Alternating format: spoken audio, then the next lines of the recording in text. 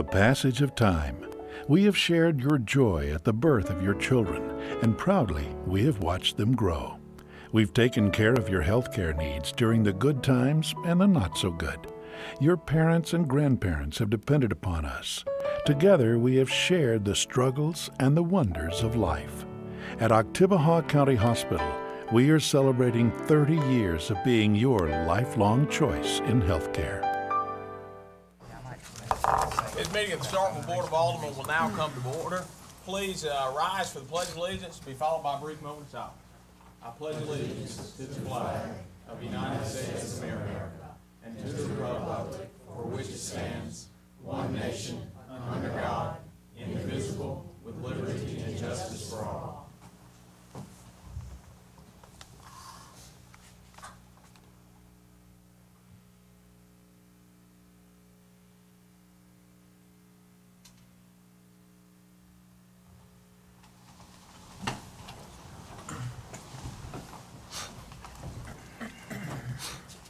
All right, you have before you a modified copy of the written agenda, and uh, there's one revision that didn't make it on there.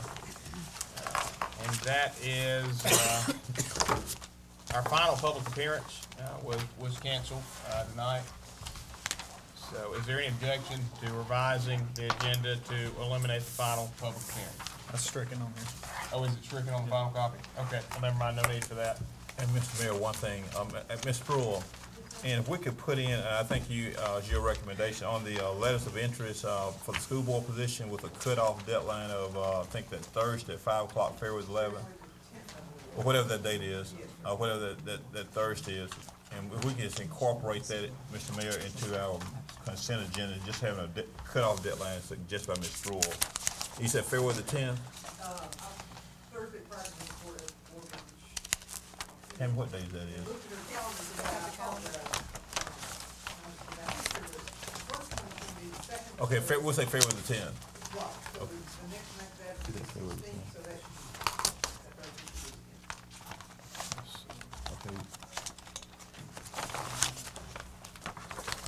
So you wanted to read the first advertisement that run on February twentieth, two thousand ten? Uh, Ms. Mr. Loomis got his calendar. He- February eleventh is the Thursday. The thirteenth and eleventh. Oh, the deadline for accepting letters of interest It's will be, Five o'clock on February eleventh. okay. Yes, sir.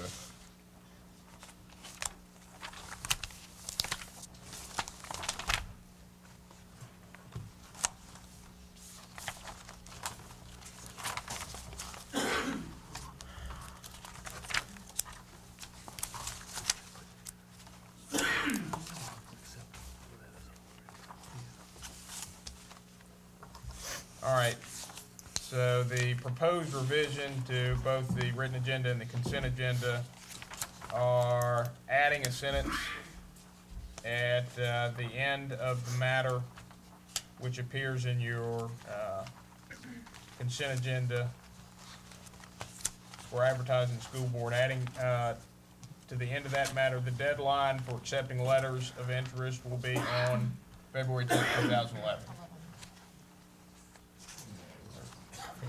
Excuse me, February eleventh, two thousand ten. I reversed it. Is there any objection to that revision? Any objection to that revision? Seeing none, please note the change. in consent agenda. Any further proposed revisions? Are there any further proposed revisions? Seeing none, a motion to approve the agenda is in order. So moved. Motion's been made by Alderman Corey. Do I hear a second? Second. Motion been seconded by Alderman Dumas. All those in favor, please signify by saying aye. Aye. All those opposed, please signify by saying nay. Measure clearly passes. Is there any objection to the matters that have been placed on the consent agenda? Any objection, any objection, any objection, seeing none, matters on the consent agenda are approved as well. All right, there are no minutes uh, currently for your approval, so we'll move to announcements by the mayor and board. And uh, first announcement I have is, uh, it is my pleasure to recognize a couple of longtime employees with the city of Starkville who are retiring. And the first person I'd like to recognize is Lovely Cromwell. He is better known around the city as Shorty. Shorty has worked for the city for 23 years and four months. He has worked in the street department for all of his service with the city and has helped with repairs to most every street in the city of Starkville. We asked Larry Black, who's been Shorty's supervisor, how to describe Shorty. He said Shorty was always very friendly and outgoing, and he was a very faithful, dependable, hardworking employee. Shorty is a person that does not let things get him down. Even though he's experienced some health issues, he's maintained a very positive attitude.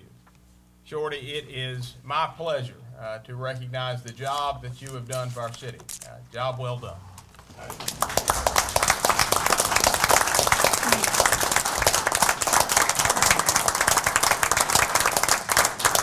a plaque.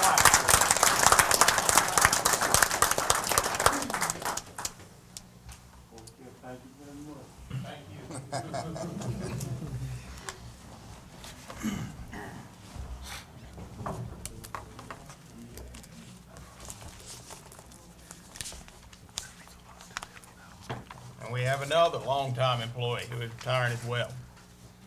Ulysses Gandy. Mr. Gandy has worked for the city for 18 years and 10 months.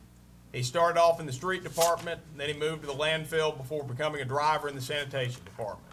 In 2006, he accepted the additional duties of being a foreman in the sanitation department. Mr. Gandy is well respected by all of his employees. He has always been one that completes his assigned duties very thoroughly and efficiently. You can always count on Mr. Gandy to help others to learn their job. He's a very quiet, private individual, and we are sure he has great plans for retirement. Mr. Gandy, it is my pleasure uh, to thank you for your service and tell you that we wish you the very best in retirement.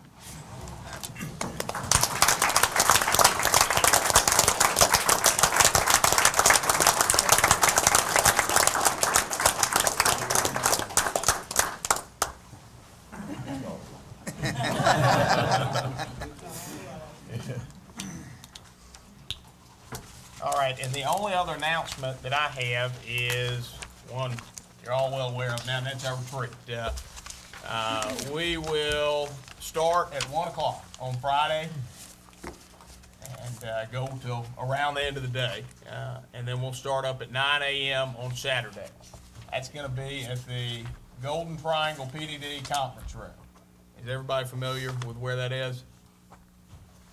And uh, met with the uh, facilitator, Phil Hardwick, again, and have had meetings with each of you in the meantime, and uh, I'm really excited about it. Uh, I hope y'all are too. Uh, And uh, should be a good weekend. Are there any questions? Any questions, comments about the retreat? All right, any comments from the members of the board? Comments from the members of the board? Seeing none, we'll move to citizen comments. Any citizen wishing to speak, please uh, introduce yourself, and you'll be recognized for a maximum of three minutes.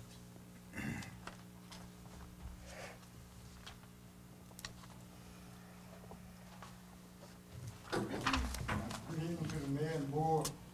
My name is Alvin Thomas Ward Seven. Um, like to say, our, um, uh, Vice Mayor Citron and Alderman Vaughn. Thank you, Alvin. Citizens have a few concerns. um, The cold weather ha- have people where they, uh, don't, don't know that they're putting themselves in danger. Uh, they do not know, you know, what appliances might over, might overload the circuit. Uh, you know, people know of the things that you can put too much on to overload the circuit, it'll hit. Uh, uh, the people are trying to stay warm, if, if they have no gas, they go for electric. If they have no electric, they go to gas. And, uh, you can easily overload. Uh, the people are concerned about, uh, that, that we hope that, uh, we'll be able to get in the electric department soon because putting that heater is hard. Thank you. Thank you, Mr. Turner. Further citizen comment?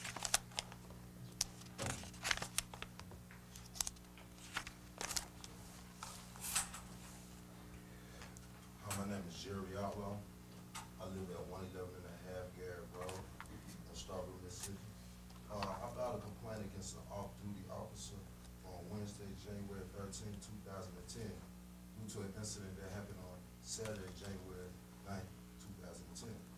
I'm asking for an investigation because I feel I was in, uh, unjustly targeted and have no other action, uh, recourse. I delivered a letter to Captain Frank Nichols, uh, Police Chief David Lindley, and Ms. Marquita Outlaw. Requested, uh, Ms. Outlaw to issue copies of this letter to, uh, Mayor Parker Wiseman and members of the board, City Board of Aldermen. I would like this matter to be thoroughly investigated, and I respectfully ask Mayor Wiseman and the Board of Aldermen to investigate this matter and provide me with the decisions regarding my complaint. Um, that's all I have for you right now at this time. Thank you. And I and the board did receive uh, copies of the letter, and uh, the police de- department is cur- currently uh, i- investigating the matter, and I expect a a report shortly on it. Okay, thank you for your time. Yeah, Thank you. Thank you. Further citizen comments? Ms. Peak?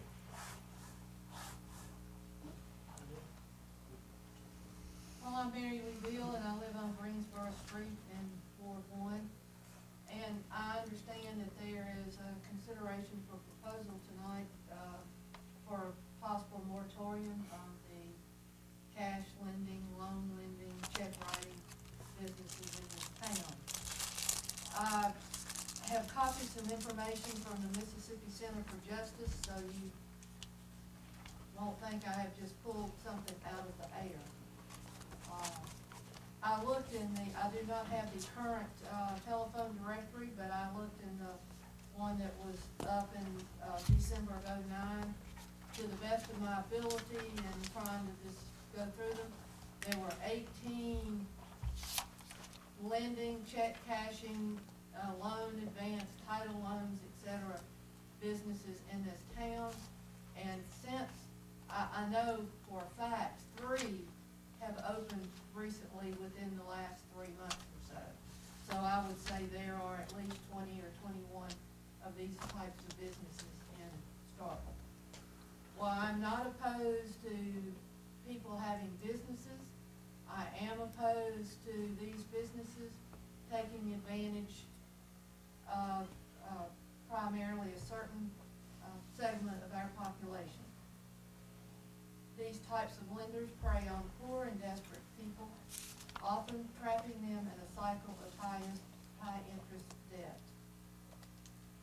Payday lenders and similar types of businesses cluster in areas of high poverty and take advantage of desperate people.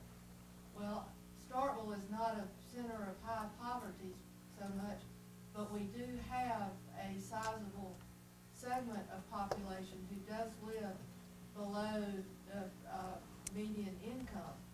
And there must be something going on with all of these businesses, um, coming to town, and two of them locating in former fast food establishments. Uh, and you just, it makes you wonder, uh, when they take on the redoing of that side of the building, uh, what is, um, taking, taking place. Um, This is something that I think you need to consider as far as the city is concerned.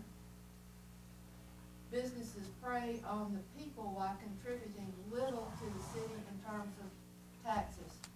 They don't produce sales tax, and that's very important for a city. Sales tax is, sales tax is what we look for in our major commercial thoroughfares. Um, and this is to go to support that comment, I found this very interesting. Um, payday lenders in Mississippi are permitted to charge loan fees of twenty-two dollars for one hundred dollars borrowed over the course of a two-week loan period, which is the equivalent of five hundred and seventy-two percent annual percentage rate. In two thousand six, payday lenders in Mississippi earned two hundred million dollars in fees, from $43 million in loans. These fees are equivalent to what Mississippi spent on welfare. Um, I just think that having a moratorium and a consideration for this uh, is in order. Other cities are doing it.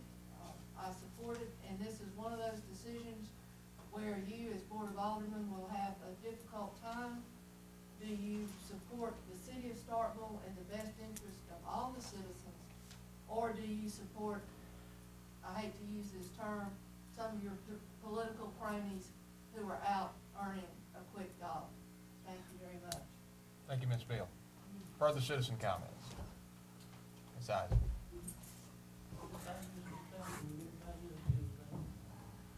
Good evening to everybody. I'd like to say, uh, after this Martin Luther King Day, which was a very good day, we appreciate you for being here. I would just like to say to each of my, to my aldermen who just left out, talk to Uh, I would just like to say, I've come to y'all and I've come to you, and I know you're getting tired of looking at me, but I told you, every time we have a meeting, and swear to God, I'll be here. I'll be here. You know, every time we have a meeting, because I'm really concerned about this curfew that I have talked about, you know, city of Starkville. I've talked to, uh, Frank Nichols, I've talked to him, and we've been together, and he got some notes, and I got some notes. I've been to some cities, you know, and I've been looking up the code on some of the cities, and as soon as I get all my information compiled, I'm gonna give y'all a copy of it. You know, of what go on during these curfews. I would just like to say, we still got a lot of stuff out there we need to take care of. We take care of our crime in the city here. We take care of it, and I know we'll have a greater city. We already got a great city, but we'll have a greater. I just wanna say that, but I'm, I am looking into it. And in Columbus, they, I, I got some papers from them that they sent me, and it's about the age of the children, you know, that are out on the streets during the daytime meetings, not just nighttime. The ones that are supposed to be schooling, you know, homeschooling, they're out instead of being in school. So I would just like to say, I'm gonna keep on, next time I come, I may come with a petition, I don't know yet. But please, I would like for y'all just to consider, we need a curfew here in Starkville, Mississippi. Mr. Perkins? Muir, let me just respectfully, uh, request of you, and maybe Ms. Spruill, just to see what's the feasibility of, of a curfew and what may, uh, be workable, but you don't have to get into an explanation, just, just research and analyze and give us a report back, if you don't mind. Okay, and, and I can, I can give you a report now, uh, because, um, the, the, the police department, uh, at, at my request, uh, after the last meeting, uh, did do some research on it. Uh, and basically, the conclusions of the memo, uh, that, that I've received are that, uh, this is a tactic, uh, that's implemented, uh, oftentimes, it does have serious consequences, uh, in communities, uh, where crime of a particular type uh, is much more of a problem than currently exists in this community. Uh, There are some unique issues uh, in, in Starkville with this being a college town, because you have so many uh, people that are around the age of eighteen uh, that the police would uh, be charged with uh, en- enforcing a curfew law with uh, that pose some particular difficulties. The overall conclusion uh, uh, of the report was it was something uh, that, that was probably not in the best interest of the city at this point in time. I keep on, I'll be back. Thank you. Further citizen comment? Uh, yes, my name is Brent DeWeese, and, uh, thanks for time, Mayor and Board. Uh, I'm here to talk about the moratorium that, uh, Ms. Beal talked about, and, uh, I would respectfully disagree with some of the things she said. Uh, the industry that's in this, uh, moratorium does provide taxes and, and does uh, have, provides employment to the, to the town, to the city, that, um, provides a service to the people that use it. No one is required to come and take out a loan. It requires a service and that uh, you're required, you're allowed to come and get smaller amounts of loans that you would not be able to get at banks or uh, also at um, um, finance companies. Yes, at a higher rate, but also is at a higher risk for the business that's uh, providing. Um, This is America, and I believe in free enterprise, and as far as putting a moratorium put cap on something, you know, I, I would question that in regard that you have, uh, you know, if somebody's willing to put their neck on the line for a, for a business, you know, it's their, their opportunity to lose it as well as make it. Um, I think the supply and demand will limited in itself of how many, um, how many businesses would be, be in here in that, uh, industry. That's why there's not a hundred now. You know, if it was that easy, there'd be one everywhere. Um, as far as the, uh, some of the other additional items on that, uh, moratorium is, there's, seems to be, uh, at least from my reading of it, that you would not be able, if you had to try to sell out, or you chose to get out of the business, you wouldn't be able to, you could not do that because, um, there, the person couldn't sell out because you'd be limited uh, on privilege, privilege license. You couldn't, the city wouldn't reissue one, which isn't fair to the person who's been in that business. And, uh, it's not as simple as just you turn around and sell your accounts to someone else. That's a, you know, a major, uh, flaw in that as well. Also, um, you know, as far as free enterprise, you have, you know, some people, some people might say that we have too many pharmacies or whatever. I, you know, my take on that is that you just, or restaurants, that you would, um, be able to, you know, this American, be able, you want to start your own business and you can do that. Last, lastly, um, you also have, I realize that twelve does, Highway twelve does have a lot of these.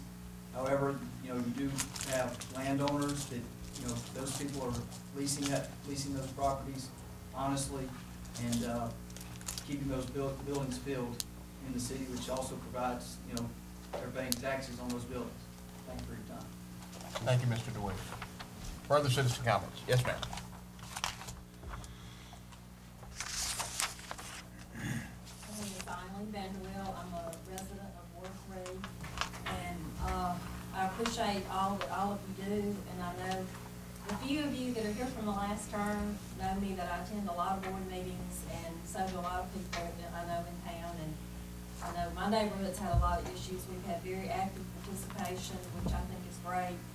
Uh, it's a shame sometimes it takes an issue to bring people to board meetings, and I tell a lot of people the best free entertainment you'll get is to go to board meetings. But I just have a question slash comment. Um, I read a lot online on the meetings. I'm very into documentation. I'm an auditor by profession, and that's what we do.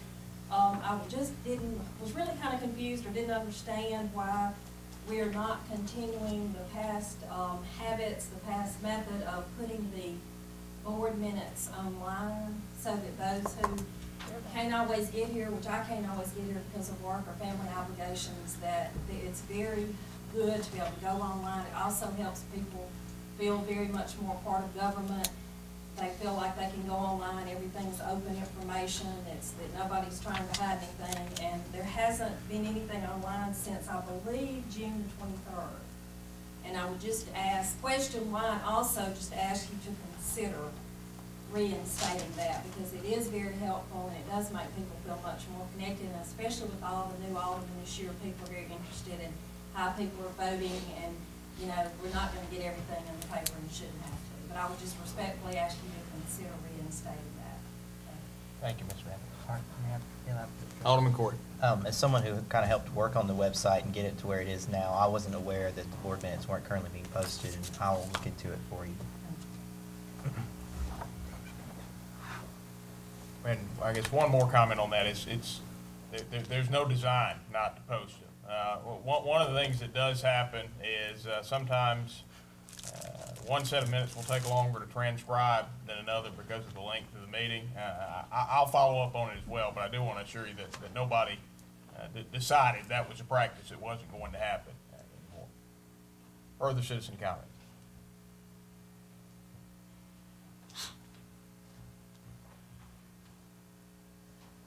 Any further citizen comment?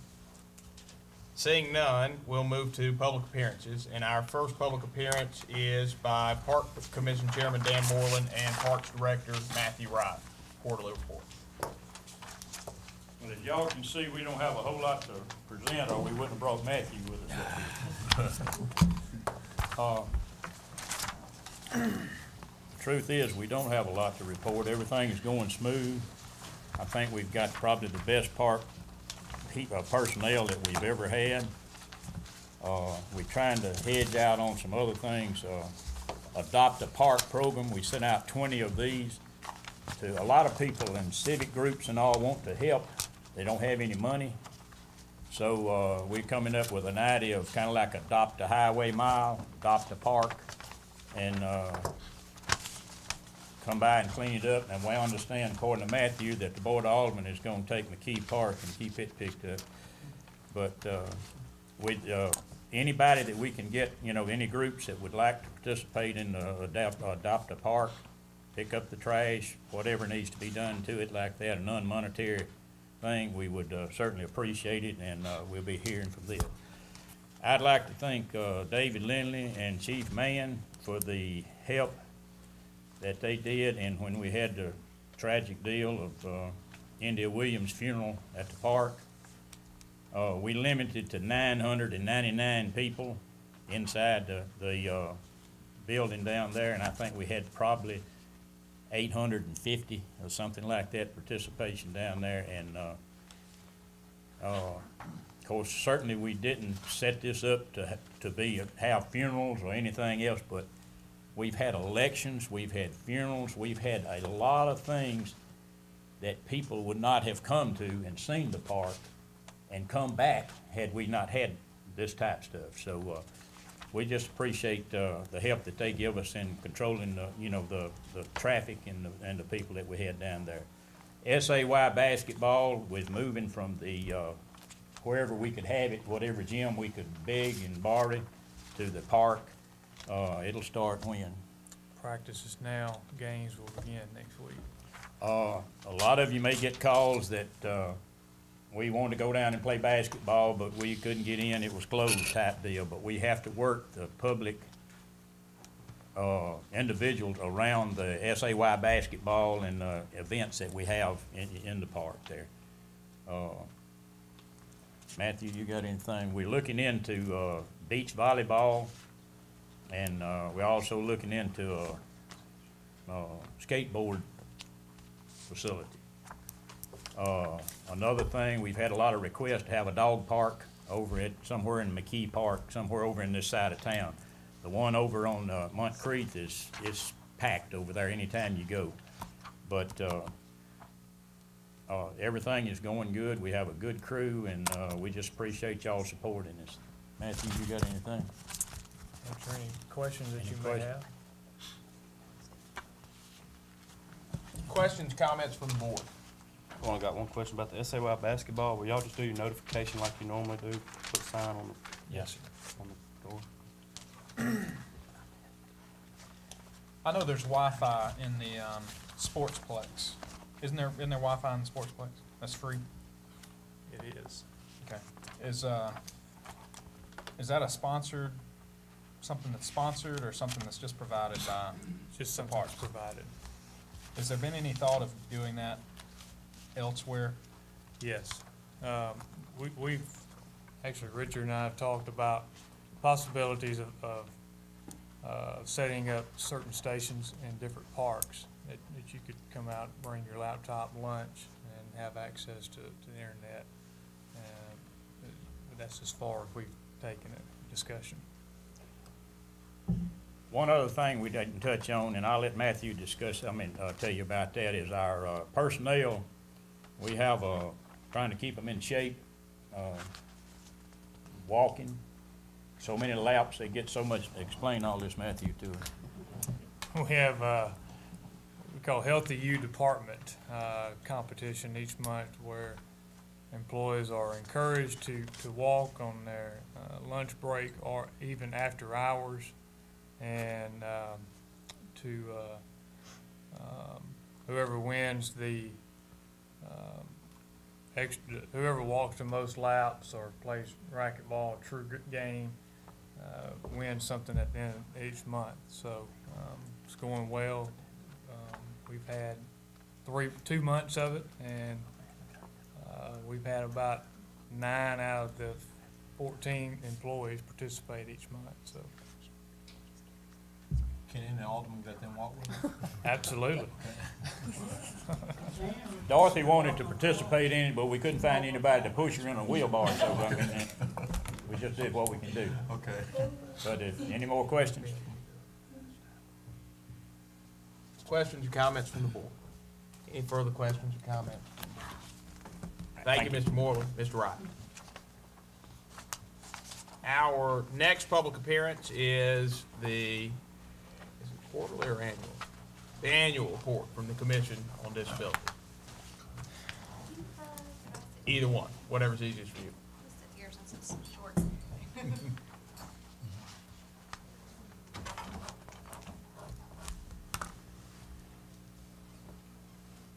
Good evening. Um, like Mayor Wiseman said, my name is Whitney Hilton, and I'm the chairperson for the Commission on Disability for the City of Starkville.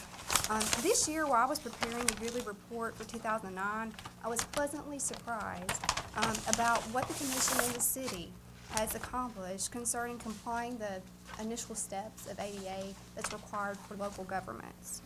The city is about 20 years behind in their transition in becoming accessible, but since the new term has begun, there seems to be a positive shift in not only mindset but also approach.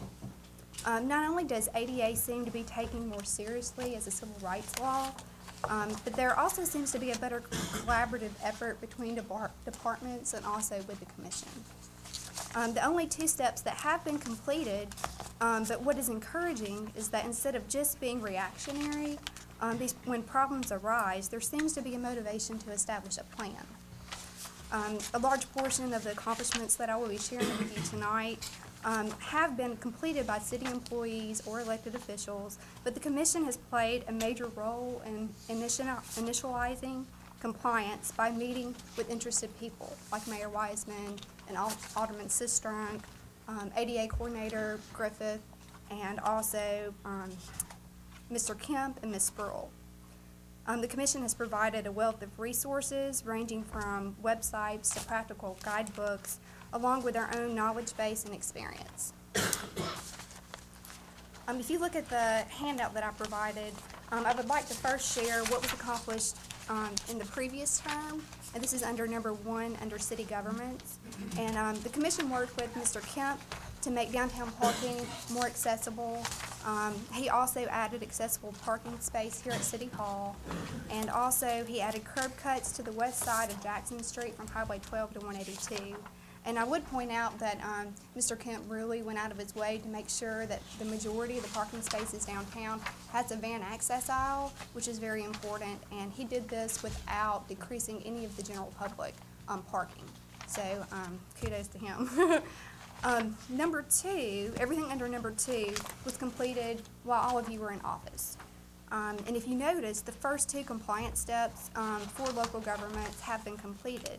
This includes the appointment of the ADA, ADA coordinator and also um, the adoption of the grievance procedures.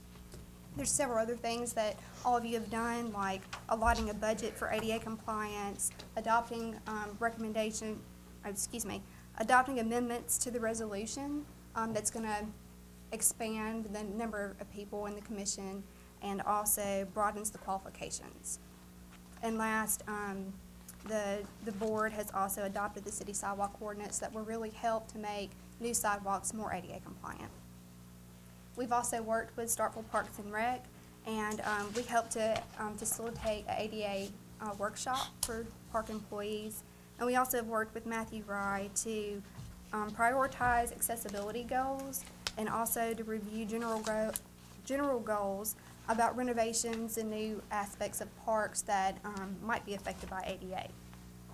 And last, um, the commission has worked with the community. We've given out several Advocate of the Quarter awards to individuals and businesses within the community.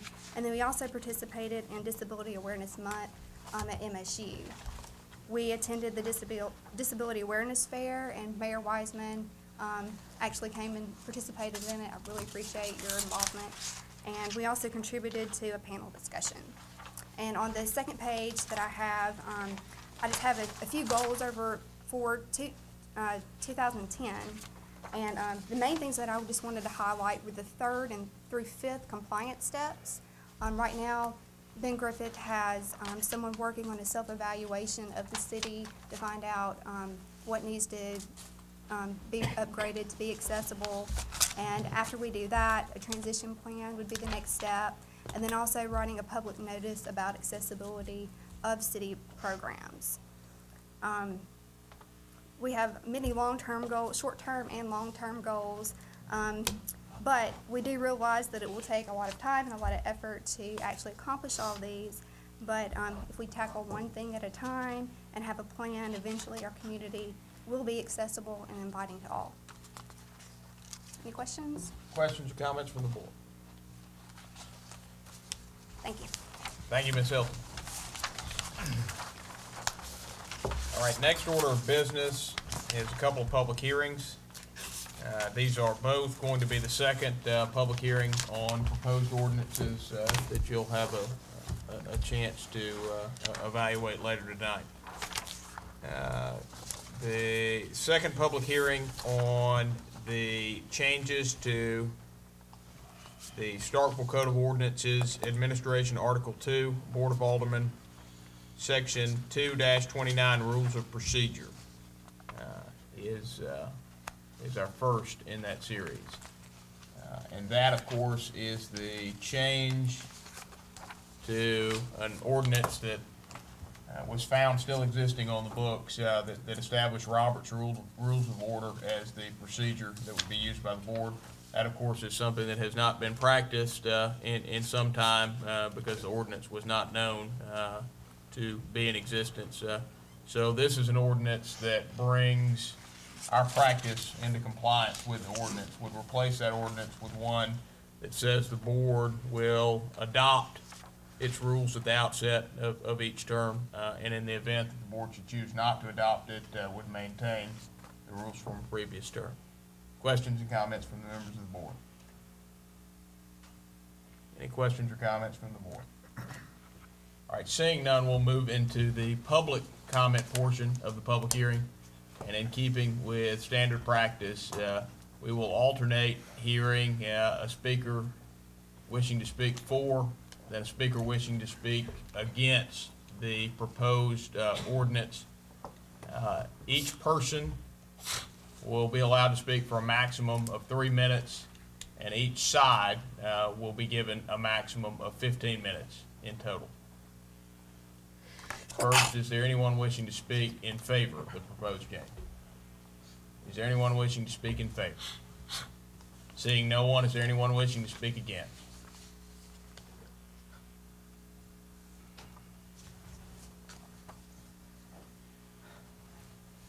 Uh, good evening again, my name is Alvin Ward. As I said, spoke at the last meeting, our, uh, citizens are look, looking for, uh, the administration to try and hold us together as one. Uh, one agenda, one determination, try to get some things done, done. There's a lot of needs that we need done. Our, uh, a lot of people want jobs. Uh, we don't need for people to start robbing people in, in, daylight because they don't have, uh, they have nothing to do. That the citizens won't help and won't feel like that someone kid. Thank you, Mr. Turner. Is there one- anyone wishing to speak in favor of the proposed change? Anyone wishing to speak in favor? Is there anyone wishing to speak against? Anyone wishing to speak against? All right, seeing no one, we will close the public comment portion of the public hearing and move into discussion from the members of the board. Any discussion from the members of the board? Any discussion, any discussion? Seeing none, we will close the public hearing on uh, the proposed change to section two twenty-nine uh, of the code of ordinance. Uh, The next public hearing is also the second public hearing on a proposed ordinance, and it is on the amendment of sprinkler ordinance two thousand seven four and Code of Ordinances, Chapter fifty-eight, Fire Prevention and Protection, Article three, Automatic Fire Suppression Systems for the City of Starkville. Chief Mann, uh, would you like to introduce the topic? Good evening, board. Um, the, the change to the ordinance that, uh, that, that we've asked for you to consider basically, it consists of adding definitions to the, to the document to- for it to flow better for the reader.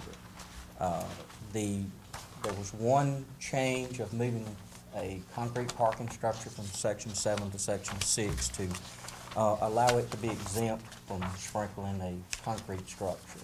And that's basically it for the changes. Uh, and Field any question, be glad to answer any questions you may have, or anybody may have. Questions or comments from the board? Or any, So there's, there's been no changes from our last public hearing last week to this week? No, no. Is the parking garage at the hospital more than twenty-five hundred square feet? Yes. So according to section seven, it will be equipped with a fire suppression sprinkler system. Seven A says, I mean, that's, I agree with what you're saying, and going back and look at seven, seven A says enclosed vehicle repair garages. That's not, that's just garage and shop. That's 25. correct, that's correct. That is not, that is not, it doesn't have anything to do with the hospital. What's the, what's the main purpose behind a sprinkler system? Is it for protection of the structure, or is it for safety of individuals? It, it's primarily life safety. Life uh, safety. With building conservation, the second. Okay. Are there other types of systems that'll be in the parking garage that'll, from the life safety standpoint? It is. There, Okay. there's, uh, standpipes, which is basically a, a, a, a mechanism for us to pump water up into the, to the stairwells if, if we need to. Okay. Uh, It's just simply all it is. It's a connection for us to hook our hose to. So to make public knowledge, and speaking with you, it's a pretty interesting fact. You told me that most car fires are not a real life safety issue because they're pretty much contained just with that single car, correct? I mean, they don't have a chance of spreading like a residential fire or? Y- Yes, and, and, and even if a car fire does occur in the parking structure, it's, it's going to be, the sprinkler system wouldn't be able to put it out anyway because it's under the hood or inside the, the uh, seating area. So the water wouldn't be able to reach it anyway. further questions, comments from the board? Any further questions or comments from the board? Hearing none. Thank you, Chief Mann. We'll now move into the public comment portion of the public hearing and uh, keep with the uh, same rules uh, discussed before. Is there anyone wishing to speak in favor of the proposed change? Anyone wishing to speak in favor? Seeing no one, is there anyone wishing to speak against?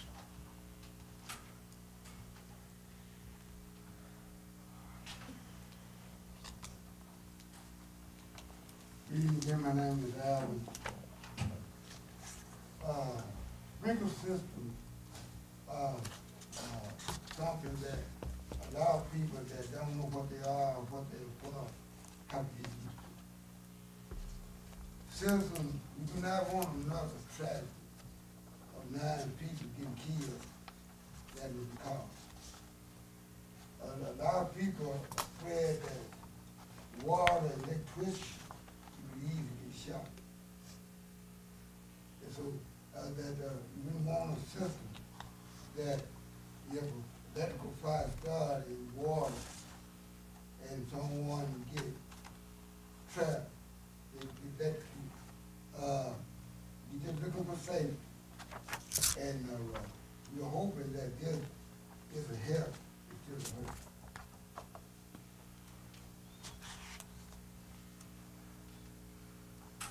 Thank you, Mr. Turner. Anyone wishing to speak in favor? Anyone wishing to speak in favor? Seeing no one, is there anyone wishing to speak against? Anyone wishing to speak against? Seeing no one, we'll move back into the board discussion. Is there any discussion on the proposed ordinance from the board? Any discussion? Any discussion? Seeing none, we'll close the second public hearing on the proposed changes to the sprinkler ordinance. Uh, There are no items under mayor's business this evening, so we'll move to board business. And the first matter of board business for consideration is the making of appointments to the Commission on Disability. Ms. Sistrunk. Um, the Commission on Disability, we recently, um, addressed the, uh, establishment of that commission and expanded its membership to seven from the original five. They've also lost a member uh, when one of their members moved out of town. In the advertisement for people to fill out the, the three vacancies on the commission, we, we had um, an exceptional group of applicants this, this time. We have four really good candidates. I'm going to nominate three. Um, The, the fourth, I, I think that Ms., um, that uh, Ms. Hilton is going to see if she can keep her involved by doing some other work with the commission, and also um, encourage her to apply if there are vacancies in June. I think there are a couple of seats that may become, uh, are up for renewal in June. Um, I would like to move that we approve the nomination of Janie Cirlot New, who is the director of the TK Martin Center for Technology and Disability at Mississippi State. Um, That we approve the nomination of um, Lucy Wong Hernandez, who is an adjunct professor on campus and who has worked extensively in the um, field of um, ADA compliance in the past, and that we approve the nomination of William Sansing, who is employed at the Rehab Research and Training Center on Blindness and Low Vision uh, at Mississippi State. And I'll, I'll, I'll make that in the, in the motion with just those names. So I move approval of, or appointment of Janie Cirlot New, William Sansing, and Lucy Wong Hernandez to the Commission on Disability. All right, motion has been made by Alderman Sistrunk to approve the appointment of Janie Cirlot New, Lucy Wong Hernandez, and William Sansing to the Commission on Disability. Is that your motion? It is. Do I hear a second? Second. Motion has been seconded by Alderman Corey, Alderman Sistrunk. Do you wish to speak on the merits? No. Any discussion from the board? Is there any discussion, any discussion, any discussion? Seeing none, all those in favor of Alderman Sistrunk's motion, please signify by saying aye. Aye. All those opposed, please signify by saying nay. Measure clearly passes. Next matter before you is the consideration of amending the Code of Ordinances of the City of Starkville Administration, Article Two, Board of Aldermen, Section two twenty-nine, Rules of Procedure. Discussion. So moved. Motion has been made by Alderman Dumas to amend the Code of Ordinances of Starkville Administration, Article Two, Board of Aldermen, Section two twenty-nine, Rules of Procedure. Alderman Dumas, that your motion? It is. Do I hear a second? Second. Motion has been seconded by Alderman Perkins. Alderman, Alderman Dumas, do you wish to speak on the matter? I do not. Any discussion? Alderman Carver. Does that motion say that the next board will have the option for the selection of the said rules of procedures? Yes. Says it in the act. The next board will have, yes, I guess my question is, the next board will have the option to choose the procedures if they want to, whether it be Roberts or parliamentary? Yeah, yeah, this is essentially codifying, or, or the attempt of it was to codify what we already did. Uh, somewhere along the line, um, uh, the ordinance that is on the books was forgotten. So the choice is either start abiding by that ordinance, which is to use Robert's Rules of Order, or codify what we do in place of it. Discussion. Any discussion? Any discussion? Any discussion? Seeing none, all those in favor, please signify by saying aye. Aye. All those opposed, please signify by saying nay. This measure clearly passes. The passage of time. We have shared your joy at the birth of your children, and proudly we have watched them grow. We've taken care of your health care needs during the good times and the not so good. Your parents and grandparents have depended upon us. Together we have shared the struggles and the wonders of life. At Oktibbeha County Hospital, we are celebrating 30 years of being your lifelong choice in healthcare.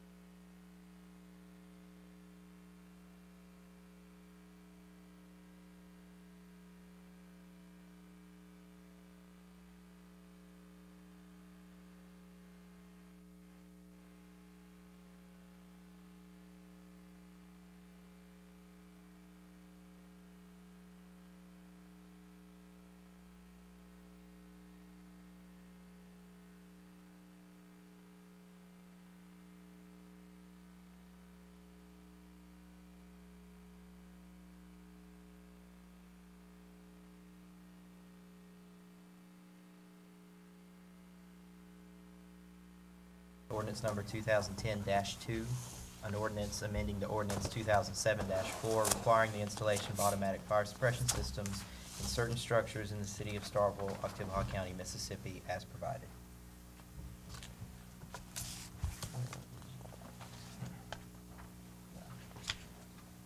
All right. Alderman Corey has moved the approval of ordinance two thousand ten two, uh, amending the sprinkler ordinance two thousand seven four Code of Ordinances for the City of Starkville, Chapter fifty-eight, Fire Prevention and Protection, Article three, Automatic Fire Suppression Systems. Alderman Corey, is that your motion? Do I hear a second? Second. Motion's been seconded by Alderman Vaughn. Alderman Corey, you wish to speak on the merits? No. Any discussion? Any discussion by the members of the board? Is there any discussion? Any discussion? Any discussion? Seeing none, all those in favor, please signify by saying aye. Aye. All those opposed, please signify by saying nay. Measure clearly passes. Uh, Next matter before you is the consideration of placing a moratorium on the issuance of cer- certificates of occupancy and privilege licenses for check cashing, title loan, and payday loan uh, businesses for twelve months or until the adoption of the city's new comprehensive plan. Discussion. Um, I, I am proposing this ordinance. As Ms. Beal pointed out, there has been a proliferation of these. The moratorium gives us the opportunity to study this and uh, make a, a a reasoned decision about how we want to handle these businesses as part of our comprehensive plan. And so that's where, that's where this has come from. Um,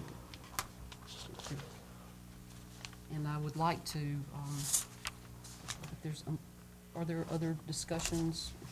Anyone else have questions? If not, then I would like to move approval of the resolution placing a moratorium on the issuance of privilege licenses and certificates of occupancy for check cashing businesses, payday loan businesses, and title loan businesses for a period of twelve months or until the city of Starkville has completed and approved the comprehensive plan. Alderman Sistrunk has moved approval of a resolution placing a moratorium on the issuance of privil- privil- privilege licenses and certificates of occupancy for check cashing businesses, payday loan businesses, and title loan businesses for a period of twelve months or until the city of Starkville has completed and approved the comprehensive plan. Alderman Sistrunk, is that your motion? It is. Do I hear a second? Second. And Mr. Motion has been seconded by Alderman Perkins. Alderman Sistrunk, do you wish to speak on the merit? Discussion by the board. Mr. Mayor, I just want to say I, I concur with all the language in this resolution. I also concur with all the comments made by former Alderman Ms. Mary Lee Beal. So I fully support this, this resolution. Alderman Parker. I, I just had a question about, I guess, uh, item two.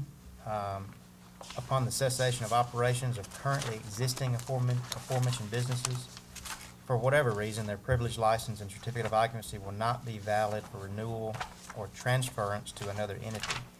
I guess my question, um, question is, so if, if, if one of these businesses goes out of business, I understand that they will not be allowed, nobody else will be allowed to open that up if they go out. What, what in the situations of if they were, if somebody was retiring or, or moving, they could not, are we allowing them to sell their business or we're not allowing them sell their current business? The effect of, of this is, is, is doing just what's written. Uh, essentially for this twelve-month period. And the important thing to remember about this is this is, uh, just for a twelve-month period or until a more permanent, uh, uh, decision is made by the board. Uh, if that were to occur, uh, that person or that business would not be able to transfer, occupancy of that establishment.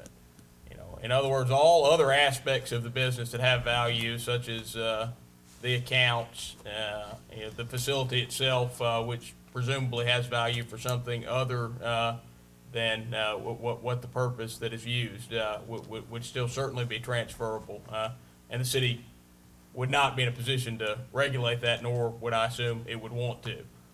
This just addresses the issue of allowing uh, that, that business in its uh, current form as one of these uh, a- a s- type of institutions that's on moratorium, uh, continuing to turn over in perpetuity uh, in that situation. So, go, go, go, I'm sorry, go ahead. Go ahead. Well, my, I guess I had, I don't think I'm hundred percent clear, is if somebody were deciding if somebody needed to pass their business on to their heirs, or somebody needed to, to move that business to someone else, that would not be allowed, or it would be allowed? What wouldn't be allowed is if an event triggers a different individual uh, needing a certificate of occupancy and a privilege license to do that business in that location. Uh, As long as this moratorium is in effect, uh, they, they would not be able to do it there.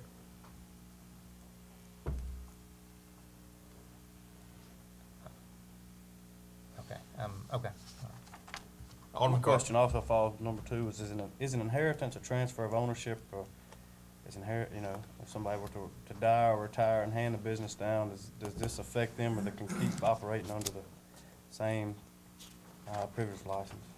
And I, I think this is a good time for the city attorney uh, to weigh in. A- A transfer, or inheritance is a transfer of ownership, and the key word with provision number two is cessation. Should the business stop by nature of this transfer, then the new certificate of occupancy would be withheld for the 12-month period of the moratorium.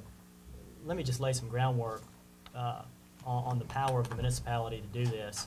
This issue has come up before. It's come up before in the context of billboards, and um, the municipality has the power to issue a moratorium based on its power to issue ordinances under Mississippi Code 21175 and also under its power to zone.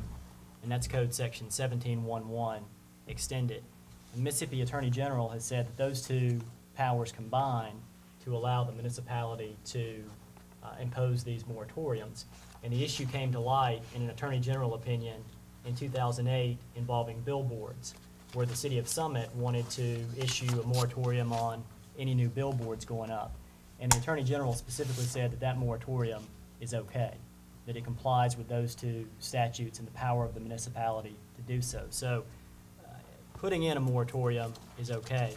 I, I too have a question with provision number two, and I have to admit that I didn't see the transfer of ownership issue initially when I reviewed the resolution last week, and it was brought to my attention uh, later this afternoon. What I can say about provision number two, Alderman Parker, is unlike the Attorney General opinion on billboards that says moratorium from a broad standing is okay, I, I don't know, I don't see any law out there whether, that says that number two is okay or not okay. So to be totally comfortable on that point, we would need to seek an AG opinion because both uh, me and uh, Ms. Spruill have kind of scoured the legal research engine to try to find any other moratorium law in Mississippi, and there's just not any that speaks to that particular issue. Mr. Mayor, I have a question. Alderman Parker. Ms. Spruill, can you come up to the table a minute, please?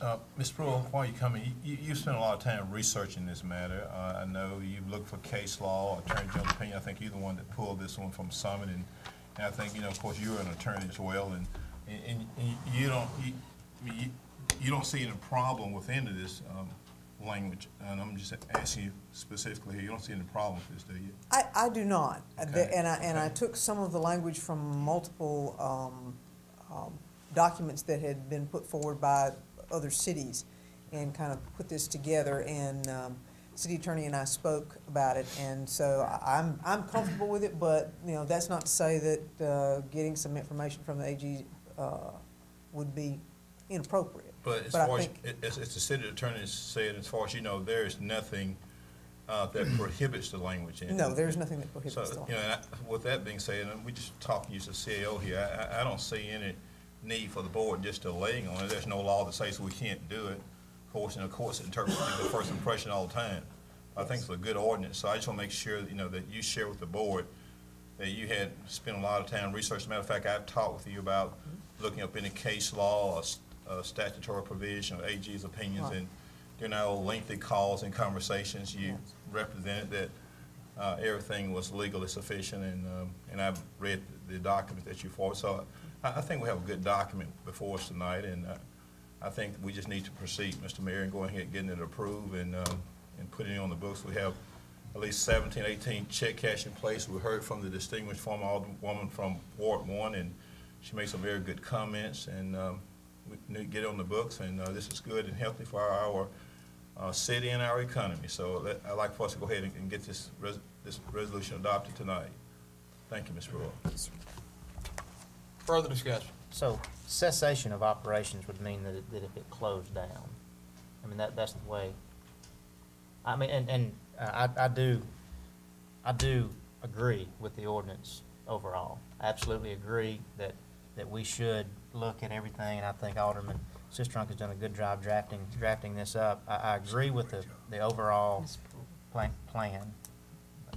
Uh, I just want to make sure that I, you know, if we do have any local businesses, that they're protected, and, um, if, if they can't be, you tell them they don't have a value, but, I mean, the way I'm understanding it now, cessation of operations would mean if they were to close down, and they couldn't open back up. And I agree with that. That would be the normal definition of cessation, sure Okay. would. All right. Further discussion? Is there any further discussion? Any further discussion?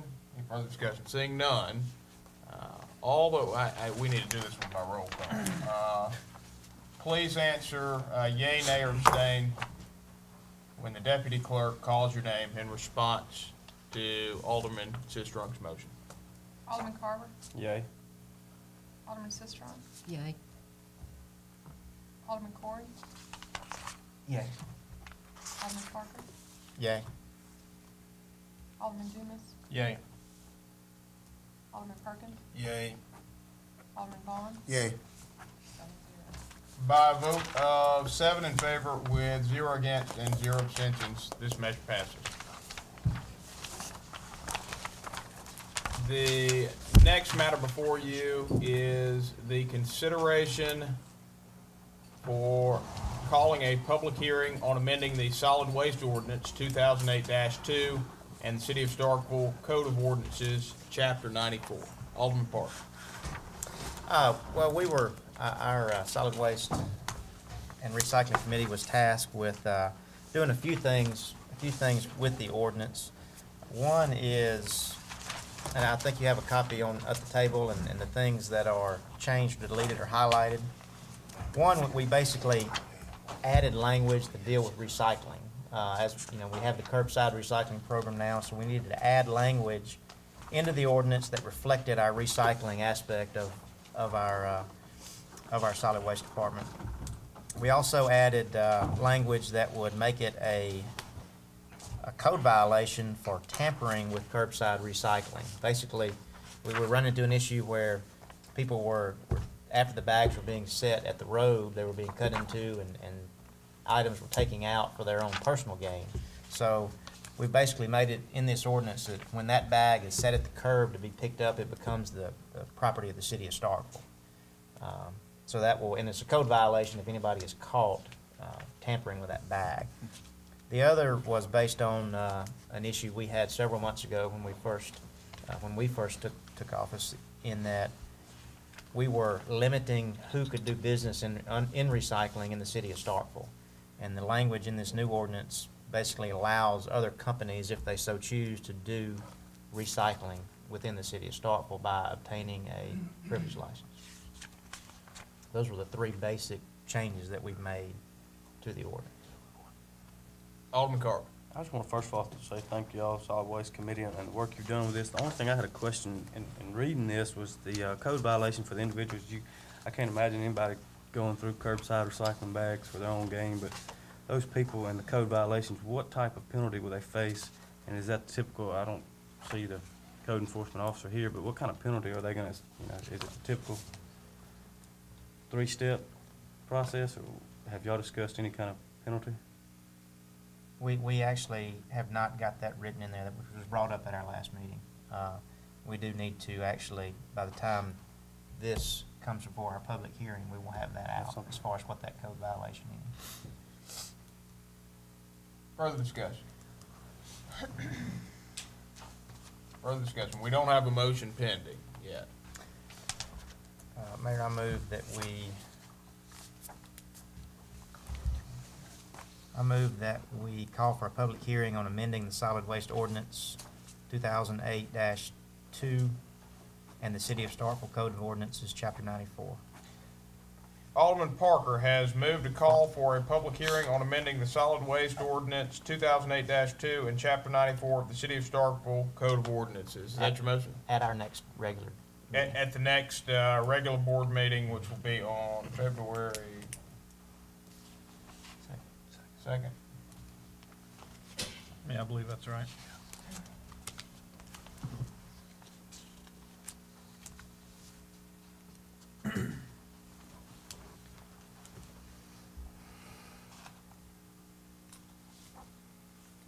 All right. Alderman Parker has moved to call a public hearing on amending the solid waste ordinance two thousand eight two, chapter ninety-four of the City of Starkville Code of Ordinances at our next regular board meeting on February second, two thousand ten. Is that your motion? It is. Do I hear a second? Second. Motion's been seconded by Alderman Dennis. Do you wish to speak on the merits? No.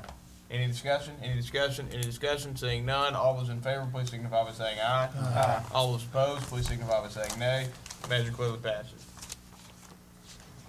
Next matter for your consideration is the calling of a public hearing on repealing and replacing the City of Starkville floodplain ordinance two thousand three two and City of Starkville Code of Ordinances, chapter sixty-two. Mr. Griffin. Um, Thank you, Mayor and Board. Um, The item before you this evening is to call for a public hearing to adopt the, uh, not only the city's new, newly proposed floodplain ordinance, but also the um, new FEMA floodplain maps, flood insurance study. Um, Also the, uh, which also would include the digital maps that are available online through the State of Mississippi Department of Environmental Quality as a reference. And um, I know this is just a call for public hearing, but um, it's become very time critical. Um, The city engineer and myself have been talking to uh, MEMA representatives as well as FEMA and their mapping consultants regarding the maps. Um, We had submitted some concerns regarding the maps. Um, We had not had any kind of feedback from them. A couple weeks ago, we received the new maps. Um, Following up, uh, the MEMA representative contacted me uh, last week, and, uh, excuse me, the week before, uh, on Friday, and asked if uh, we were going, when we were going to adopt our uh, ordinance. And uh, I, I again asked about the comments and concerns we had provided about the mapping, and he said uh, flat out that if we don't adopt the ordinance by the seventeenth of this month, the city runs the risk of being dropped from the flood insurance program. So it's, it's become very time critical. And I'll try to answer any questions that, that y'all may have. I provided a copy of the ordinance uh, in your packet. Uh, I did not provide a cover sheet with uh, some backup material. I intended to do that for the public hearing. I understand there was a question about that, and I uh, put something together today that should be at your seat. Uh, I think it outlined a couple of the major changes, and there's a chart. And I guess, I know the old uh, saying, a picture's worth a thousand words, and I can kind of show you a good example. And I, what I tried to do was get a copy of, of our current floodplain map, and this one is dated nineteen eighty-one. So, just to give you an idea of the need for adoption of a new ordinance, y'all probably all seen these. They're, you know, nineteen eighty-one. This is the current ones. Uh, there's a few of them that were updated, I believe, in nineteen ninety, but not, certainly not all of them.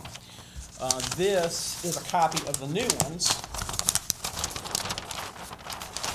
And I believe you can pretty well see a significant change based on an aerial map. Um, you can actually pick out your, your house, your rooftop. You know exactly where your property is and where the floodplain boundary is. So just the difference in the types of maps alone um, required, or I should say necessitated, uh, FEMA as well as MEMA coming up with a new, um, basically a repeal and replace on the ordinance as, as we know it. And I can certainly try to answer any questions that y'all may have this evening. I- Alderman Corey.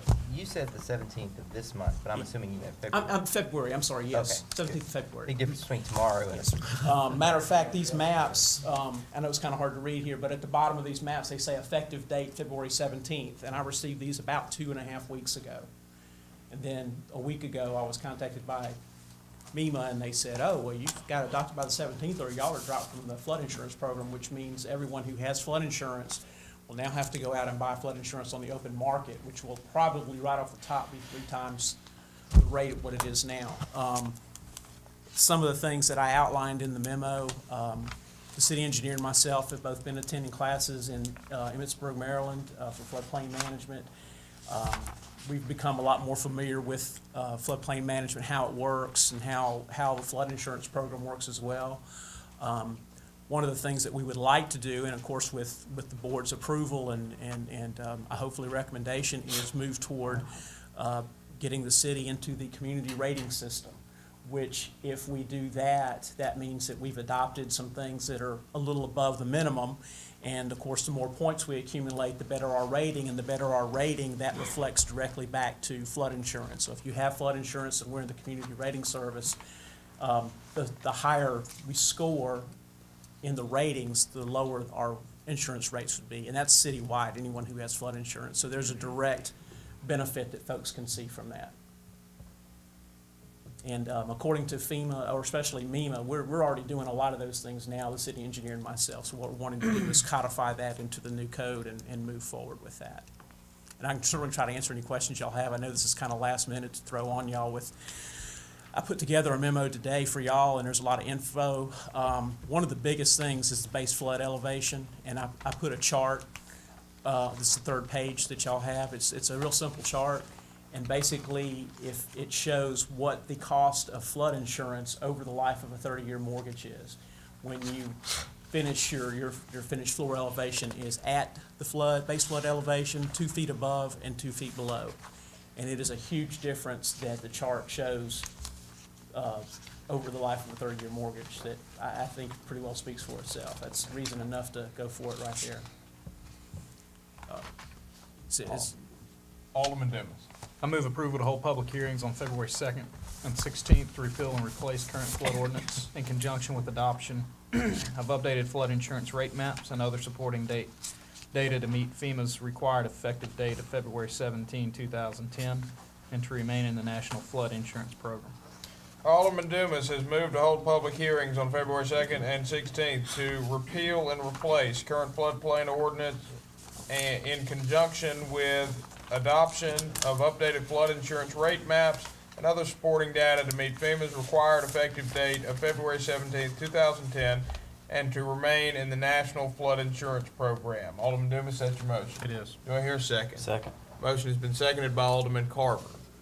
Alderman Dumas, do you wish to speak on the merits? Do not. Any discussion, any discussion, any discussion? Seeing none, all those in favor, please signify by saying aye. Aye. All those opposed, please signify by saying nay.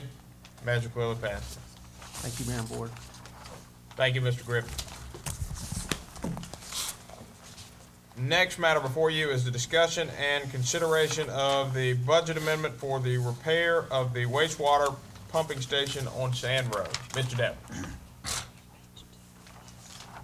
Evening, Mayor and Board. Um, last meeting, uh, Alderman Sistrunk asked that I go back and review the, uh, the budget on this, proposed budget on this project and, and see if there's any way we could reduce it. Um, there's a couple of things that, that have happened since that meeting that are of good news. One is, uh, last Wednesday, um, I was notified by Phyllis Benson that we'd been approved for the CDBG emergency, um, funding of hundred thousand dollars. So I've, uh, included that in the, um, in the, in the, um, the proposed budget amendment. So I've subtracted that, that figure out. And then also, I talked to uh, Lee Kirkpatrick over at Clearwater last Thursday, and he seems pretty optimistic that the, uh, the two lower price pumps that were quoted in the mid seventy thousand dollar range will, will probably be able to get those to work, maybe with some modification, uh, in lieu of the, uh, the higher price, hundred thousand dollar plus or minus pumps we had, we had gotten quotes from, from the Flygt people when we set the budget up. So, uh, so I went ahead and, and reflected that savings in the budget and then also adjusted the contingency, uh, portion of that as well. So, um, so with that, um, bottom line, um, we're looking at a total budget allocation netting everything out of, a of a of seven hundred and eighty thousand dollars for the project. And then I've outlined the budget amendment, uh, entries on the second page. Are, are those the pumps we all, we voted there? Are those, are those the pumps? Yeah, I don't, I don't, I didn't get a second page. Oh, you didn't get a second page? Okay. Um, you want me to? Maybe That'd be pass. Okay. I only got one copy. I, I don't know what, I mean, I've got what happened. I didn't. Are those the pumps copies. we already voted to buy? Yeah, he's still, he's still working with the pump manufacturers on the curves. Um, I don't know if you're familiar with pumps, but they have curves where they, they pump certain amounts and draw a certain amount of horsepower at certain Mhm. positions. So he's still working with them on, on modifications to do that. But, um, we hadn't ordered them yet. We just wanna make sure, you know, we wanna make sure we get something in there that's gonna, that's gonna work. Um, so we hadn't, we hadn't ordered them yet, but, um, he feels certain he can work with these, these two lower price vendors to get, to get something in, somewhere in that price range. That's gonna be considerably less than the, uh, than the other ones that we use for the budget, budget figures. Discussion. Alderman Sistrunk. Um, I- I'm, it's great news about the, the grant and also about uh, cost savings on, on the pumps. The other, the other part of my, um, concerns last week were not so much with the work, the work no doubt needs to be done, Mhm. but, um, our, our planning process, and, and this is something I'd like for us as a city to, to take more seriously Mhm. going forward, planning, including things in the budget process, so that we don't have to address this through a, a budget amendment. Um, you are in the, um, terrific position of having enterprise funds and an ending fund balance that, um, will, will allow you to, um, to pay for this. How much of this seven hundred and eighty thousand dollars will need to be transferred from the ending fund Ending fund. balance? Um, it's two hundred ninety-five thousand. And the us, the other will just come from switching between Yeah, budget switching, lines? yeah, the ones we showed last time, yeah, just those same ones, we just reduced the amount coming from ending, ending fund balance to two hundred ninety-five thousand. Okay. And that ending fund balance i- is there to cover capital outlay projects like this. What other projects are, will be impacted? And this is part of the planning, Mhm. um, since, since we're making this budget amendment, we're obviously gonna impact other projects potentially. What other projects might be impacted by doing this? Well, we, uh, each year, we, we set aside, um, certain monies for water and sewer improvement. That can either be expansions or, uh, rehabilitation projects. Um, That's, uh, I think in the retreat this weekend, y'all are gonna be discussing some areas where we have some needs in those areas. And that's, that's specifically what that, that money is set, af- set aside for. Um, a lot of times, and, and those of us who have been here before, um, through the years know, there'll, there'll be an announcement, there, there's a hotel coming. And this happened with the Hilton. This is a, this is a good example. It was announced that they were coming to an area where we didn't have any infrastructure. So that, that money was there. Fortunately, that money was there and they were, we were able to go and, um, get some, um, MDA cap loan funding and, and put that project together, even, even in the middle of the budget year. So that's, you know, that's what that, uh, that's what that's for. And then a lot of the cash balance to Ms. Sistrunk, is almost like in a private business would be like retained earnings. Right. You know, somewhere down the road, as Starkville grows and, and it repopulates and our demand for, you know, more water, uh, increases and, and more wastewater treatment increases, um, it would be good to have the, the retained earnings there to, to go ahead and pay for those, instead of going out and continuing to borrow Sure. money like, They're, like they're, we have they're a been. critical part of, of Right. doing business as a city, and, um, Yeah. Just wondered what other projects we might be impacting by making this budget Yeah. transfer. And, um, but, but there's still enough there to, to, to hit some of these, these major areas that we're talking about. Uh, we're wrapping up Carver Drive situation down there, and then we'll be moving to other areas where we've had this stormwater, uh, infiltration into the sewer system. So, you know, we'll, we still have the money there as we go along to, to keep addressing these. And, and so the money's there. I would just come, you know, as we define the project better and just get approval for the project.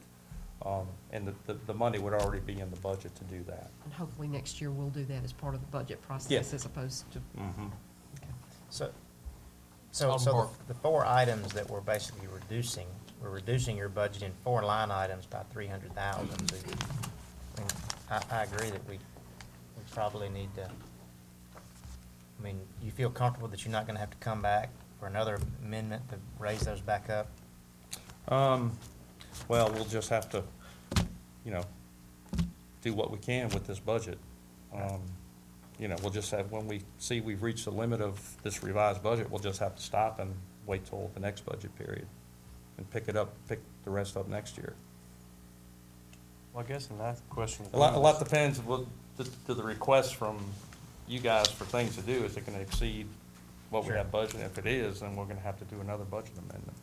I mean, I just don't wanna change it for the sake of changing it, knowing that we would have to later, but, uh, Well, after the, the retreat, when you see these areas, and then we get some marching orders out of that, um, start putting some projects together and, and, uh, getting them costed out, and, you know, look at the timing. What's typical on, on your budget amendment projects right here? What's the construction period? How many months? When do you plan on starting this and if approved? Um, if I get the approval tonight, we're, we're gonna go ahead and get started immediately. Um, You know, getting, uh, uh, advertising for materials for the uh, force main replacement.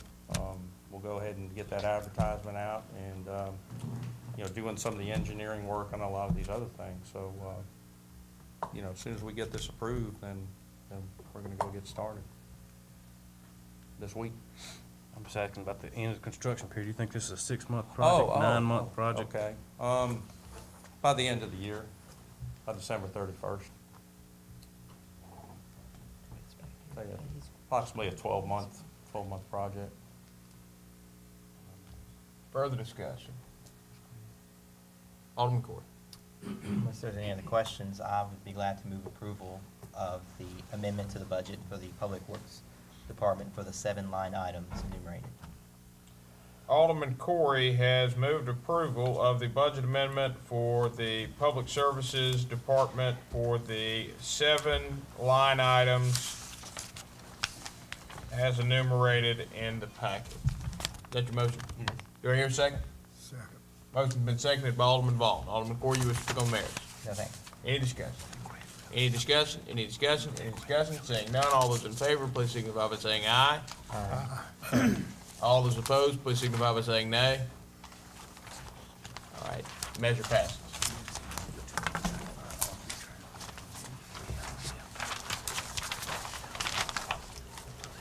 The next matter before you is a request from the electric department to purchase office furniture under state contract for the new building of the electric department.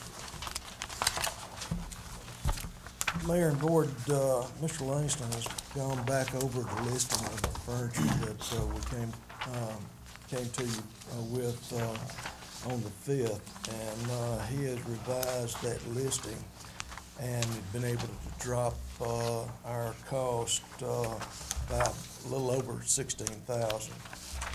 And, uh, the current, uh, the revised cost for this purchase would be fifty-eight thousand nine ninety-seven fifty-two. And we're requesting that the board uh, authorize uh, for us to purchase that, uh, that uh, furniture for the new office uh, at the state contract price. Mr. Mayor.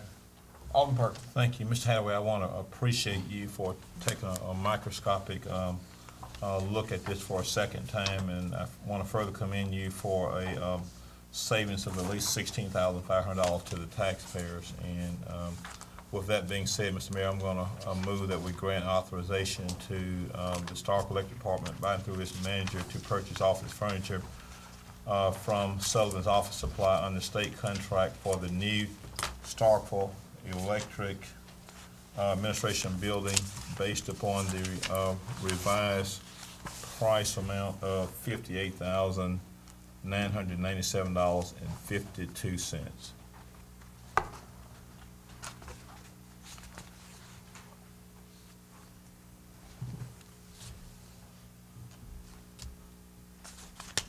You may restate that? Now, give me just one second.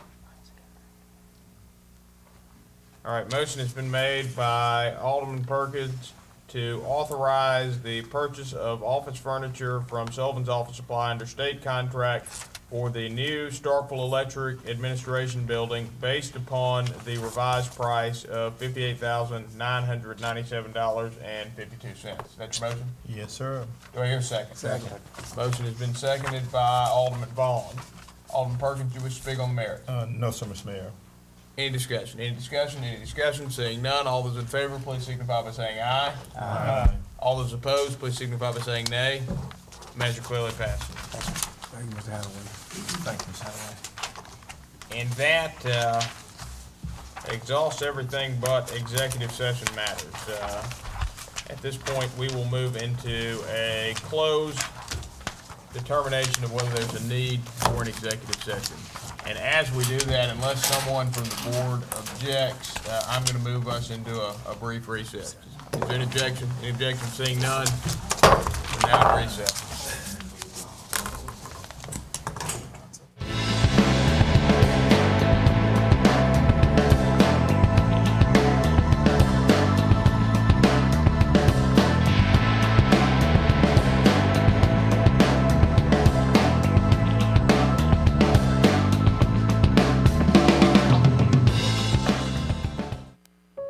The passage of time.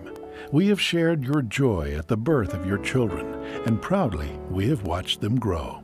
We've taken care of your healthcare needs during the good times and the not so good. Your parents and grandparents have depended upon us. Together we have shared the struggles and the wonders of life.